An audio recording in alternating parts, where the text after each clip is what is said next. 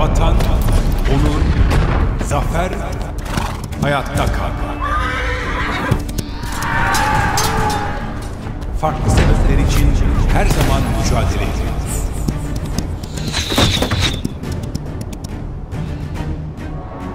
Tarihimiz büyük savaşlara sahne oldu. Verdiğimiz bu zorlu ve yıpratıcı mücadelelerde asla vazgeçmedik ve her seferinde inancımızı güçlendirdik.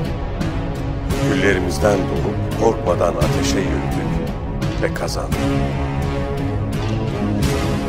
Ben yine mücadeleye hazırım. Sen, sen hazır mısın?